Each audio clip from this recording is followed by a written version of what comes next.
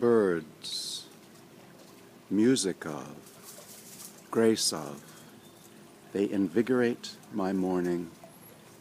I soak in hot water, contemplating art, while they, in spins and trills, make it